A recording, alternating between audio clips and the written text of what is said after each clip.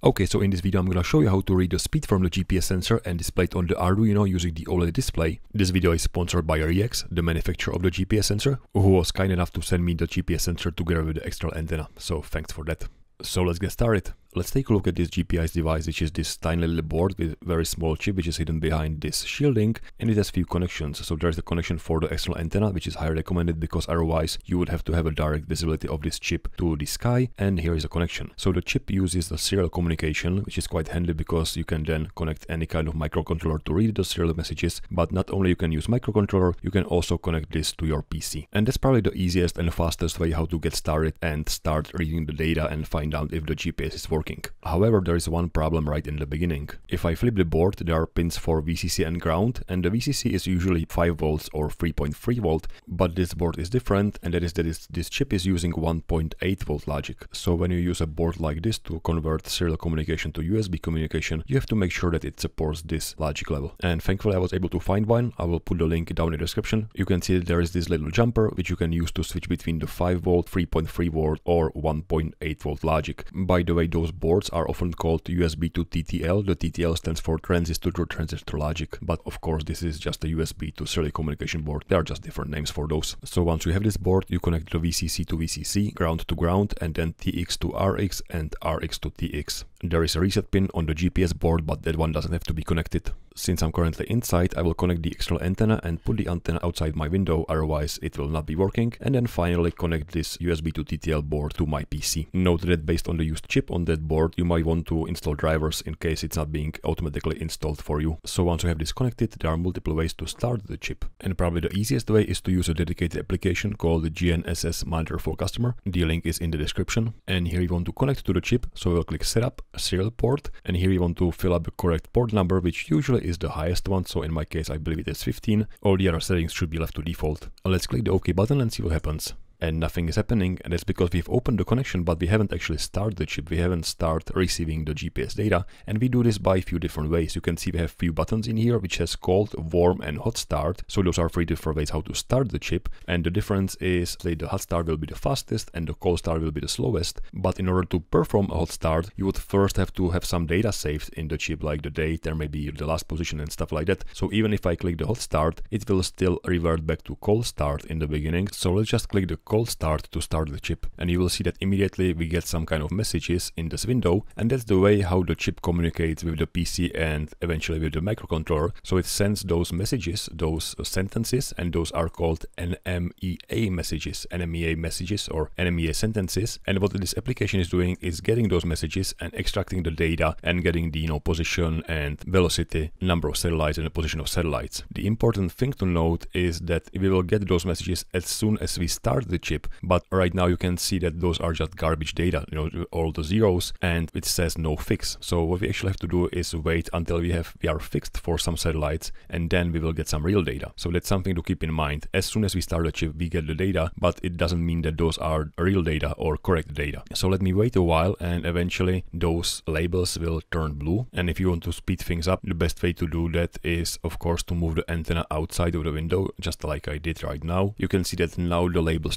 blue and we get some real data. And obviously I did blur those a little bit just because I don't really want you to know where I live. But nevertheless, we get some real altitude. But uh, right now I'm most interested about the velocity. And obviously since I'm not moving, I'm just sitting here, the velocity is zero. So in order to get some velocity, I've taken my laptop and uh, put it in my car and just drive around the city. And while I was driving, I did click the start logging button, which pretty much just takes this output from the sensor and saves saves it into a text file. This is the content of the text file. You can see that each line is a separate NMEA message. It starts with the message type and it always ends with the asterisk and the number, which is a checksum, and in between there are some data. Let me show you one tool which is quite handy. It's called NMEA generator, and you can use this online tool to just load my generated NMEA file, and it will show you the points on the map. So you can see here I was driving around the city, and if I zoom in, you can see that sometimes maybe I was slowing down because of the traffic lights. And if I click some point you can get the exact data for my heading, my speed and position. So even without doing anything else, I can already see where I was driving and what was my speed even when the speed is displayed as meters per second, not kilometers per hour or miles per hour. So I would have to do some calculations. Anyway, if you don't have the GPS sensor, you can also use this tool to generate your own NMEA file. So you'll just click this add point and you'll just start adding points and it will give you those positions and speed. And then you click the generate NMEA file and you can use that file as well. So you don't have to have the GPS sensor to get the NMEA messages. Let's talk about the different NMEA message types. And here is one page that lists some of them, actually a lot of those. We don't even get all of those messages in our GPS sensor, but what we get is this RMC message, which stands for recommended minimum specific GPS transit data. So if I open this message, you will see it has multiple parts and it is all I need because I only need the validity, if the message is valid or not. So if we get a fix or not, and what is the current speed, which is this one, speed in knots over ground. So we will have to do some calculations to get the miles per hour or kilometers per hour, but that's perfectly fine. There are other things in this message, like for example the position, but we don't care about that right now. Inside the GNSS tool, there is a way how to limit the type of messages that you are receiving from the GPS sensor. If you go to options and select NMEA settings, you can select only some of those. So let me just select only the RMC messages, hit apply, and now you should see only the RMC messages inside our output. And I think that at this point that's all we need to know about the GPS sensor. So let's move back to our Arduino project. So here is what we have from the last time. So there is this OLED display connected to Arduino Uno and we have a potentiometer that sets the value which is being drawn on the display. There is a dedicated video, I will put the link down in the description and I would highly suggest you watch this video because it has all the important details. Anyway, right now we are interested in receiving some serial data. For that we will first open the connection inside the setup function. So I have to first find the setup function and in the setup function we will open the connection by saying serial begin and we specify the speed. Usually I would go with 960, but uh, since the GPS sensor is operating at 115200, I will use that speed, so 115200. Just to know that everything is working properly, I will also print some message. For example, serial connection initialized. Now when you send some serial data to Arduino, there is a dedicated memory that stores the data and you can get access to this memory by looking at the value of serial available. So if there is something in the memory, this value will be bigger than zero, then you can use the serial read to read the data. So this code is pretty much doing what we are trying to do. So it looks into the memory. If there is something in the memory, it will read the data into the incoming byte variable and then print it out back. So I'll probably just copy this example code from the Arduino website into our code. So inside the loop, as the first step, we'll just paste the code. And of course, we would need this uh, incoming byte variable. So we'll copy this one as well, like so, and we'll put it into the list of our variables.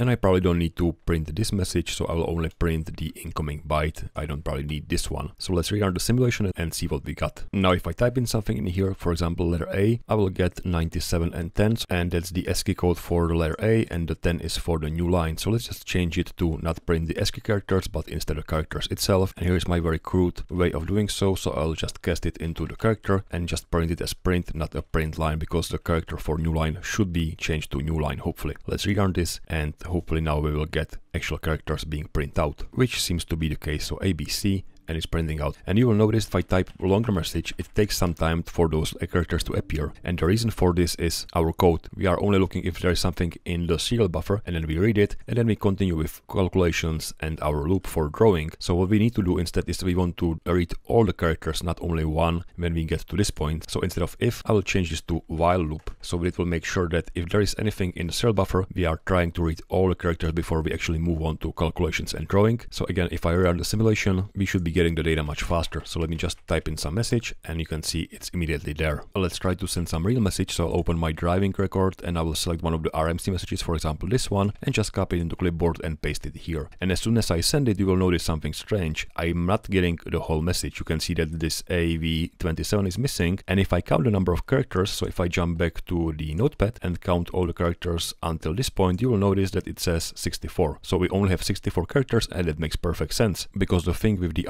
Arduino serial buffer is it can hold only up to 64 characters, 64 bytes. And what's most likely happening is that we are getting this message somewhere around here where we are in the drawing loop because that takes the most time. And so somewhere around here we are getting this whole message, but we are filling this Arduino buffer all the 64 characters and the rest of the characters will simply get lost because we are not reading it not until this point, until we get here. But those are just assumptions, so let's see if we can get some data to prove our theory. For that I will set some pins to low or high during our calculations and later on I will read those values using the logic analyzer. I don't want to use digital pins 0 and 1 because those are also used for the serial communication. So I'll for example use pins 6 and 7. First I need to set the pin mode to be the output. So I'll just copy this sample code from the Arduino website. Inside the setup function I will set the pin 6 to be output and pin 7 to be output.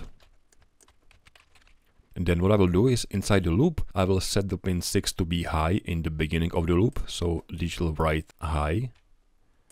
So pin 6 should be high in the beginning. And then after we do all the calculations before we draw anything, I will set it to low. So this time, this way we will be able to measure how much time it takes to perform the calculations, measure how much time it takes to draw stuff. However, since I already know that the draw stuff takes the most time, we are using the page mode in the U8G library, which means that we are redrawing every single page of the display and there are 80 different pages. This loop is being executed 80 different times. So I can also create another digital write for pin 7 and I will just toggle between low and high based on the page. So every single page, I will just flip it from low to high and and, and vice versa. For that, let's create a helper variable type boolean, which I will simply call pin7 state and set it to false in the beginning.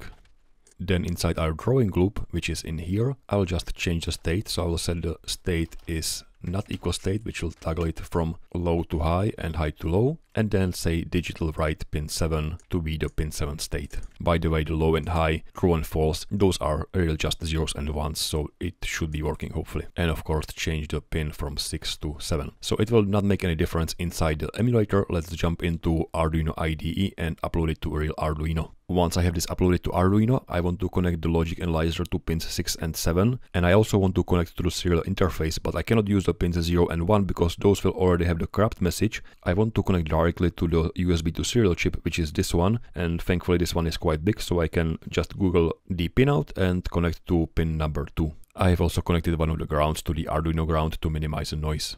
By the way, I'm using the logic analyzer from Saleae, but probably any type of analyzer will do the work. Let's start the Logic 2 application and say that we need digital pins 0, 1 and 2 and that's probably all we need so we can start capturing and as soon as I hit the start button you can see something is going on so let's just stop it and see what we get. So the D1 measures the time for our computations, for our calculations and for our drawing. So this very small piece below 1 millisecond is actually for all the calculations and then this big piece is the drawing loop and you can see up here we are toggling between the low and high state for every page of the display so it's 1, 2, 3, 4, 5, 6, 6, 7, 8 pages of the display and that altogether takes around 86 milliseconds. So together with the calculations it's 87 milliseconds which corresponds to the 11 Hertz which is the same as frames per second. So we are updating our display around 11 times per second. The last line, the D2 is pulled high and that's for the serial communication and we are currently not sending anything. So let's send the very same message as we were saying previously in the emulator. I will start the analyzer and I will open the Arduino IDE and open the serial monitor and in here once it's up and running I will paste the message few more times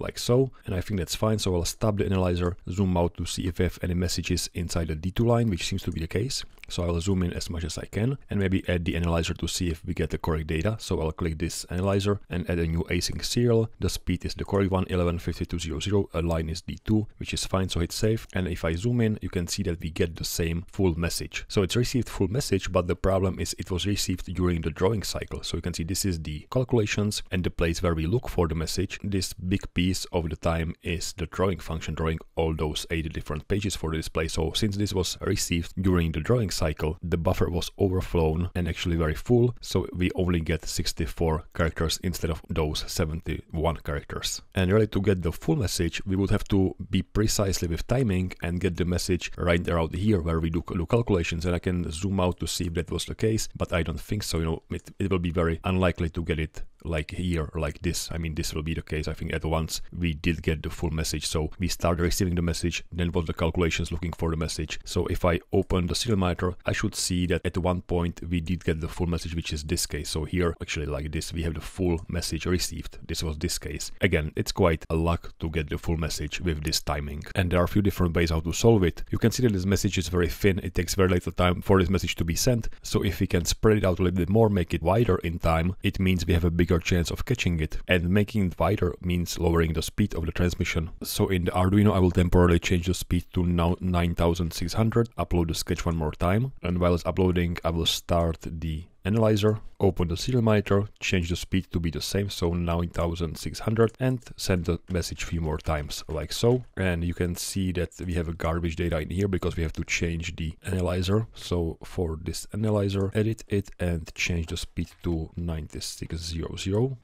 And now you can see that the message is much wider. So many times we will be able to get the full message because for example here the message is being transmitted. Then we jump to our logic state where we actually catch the message. So we get the full message. And it was obvious in the serial monitor. You can see that many times we did get the full message, but sometimes we did get not. And that's always, of course, the case where it was in between during the drawing stage. Like if I zoom out, I should see some occurrences of this. For example, here, this was this message was fully transmitted during the drawing stage. So during the drawing we would have to also look for the content of the serial buffer and we can say copy this line and inside the drawing, so inside here, we can say that if there is something in the buffer, we'll just exit the loop. So if the serial available is bigger than zero, I'll just exit the loop by calling the break function like so and that should fix it completely. If I open the serial monitor now and paste the message, I should see the full message anytime I press the send button, which is true and even without looking at the analyzer, we know that we are getting the full message. With all that said, I will use a much much simpler solution this time and it is if I look into RMC message, the speed is this number and it's way before the 64 character limit. So I will just say I don't care about anything that's beyond 64 characters, I will only read 64 characters and not do any kind of timing or changing the speed for the GPS sensor. And with all that said, let's write some code. I'm gonna need an array of characters, the C style string, let's call this the message buffer and let's make it sized 428 characters just to stay on the safe side. Since I'm getting the characters one by one, I would need some kind of indicator which character I should be writing right now. So I will create a new integer variable message character position and just set it to 0 for now. I also want to know if the message was already received. And I also want to identify if the message was new. Inside our loop, we will still use this code, so we will still look at the serial buffer, and if there is something in it, we will read the byte using the serial read, and then we have to do some changes. So I will say that if this incoming byte is a dollar sign character, that means we are getting a new message. So I will set the message new to 1, message received to 0, so we haven't received the message yet, the full message. I will set the character position to be 0, so we want to override the first character in our buffer, and we want to clear the buffer, and for that I will just google set the array to 0 in Arduino, and here is some forum post that uses the memset, so I will just copy this piece, seems to be working, but of course change the name of the buffer from the array to message buffer, and that should fill the array with all zeros. So if we are receiving a new message but the message wasn't fully received yet, we want to of course save the incoming byte into our message buffer and once we do that we want to increase the character position inside the buffer.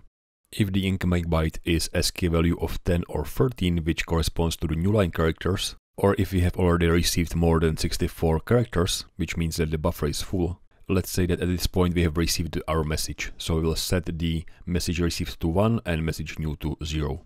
Finally, once the message is received, let's print it out. And if I rerun the simulation and paste our RMC message, nothing happens. And that's because we have to change this number from 64 to 63 because we are actually counting from 0. So we don't want to go over 63. And restarting simulation should hopefully help and we should get the message.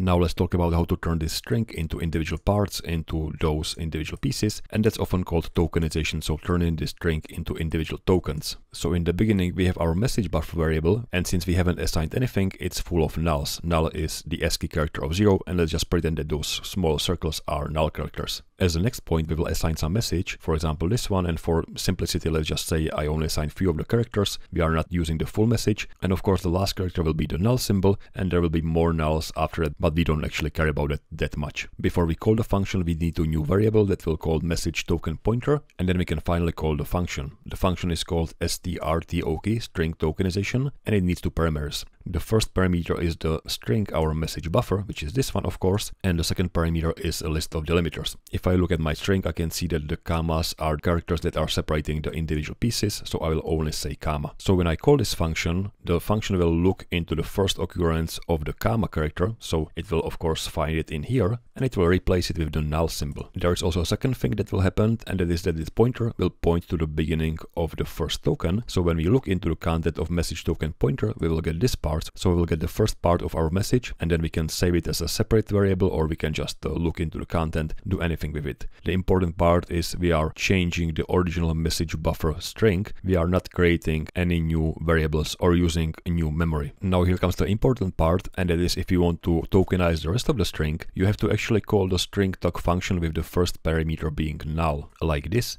that will tell the function to work on the very same string. So when I call it like this, now it will look into the next occurrence of this character, which is of course here, and it will also replace it with the null. And again, it will move the message token pointer to the next piece of the message, which is this one. So now when we look into the content of message token pointer, we will get the second token of our message or second part of our message. And we can continue like this until the message token pointer will be also null, which means we are at the end of the message. So let's try to do the same with our code we would need few more variables. So the first one will be an indicator if the message was already tokenized. Let's call this message tokenized. Then we need some kind of indicator on which token we are currently on. So let's call this message token counter. And finally, we need that pointer to the token. We want to change the last if statement saying if the message was received, but at the same time, if the message wasn't tokenized yet, we want to of course tokenize the message.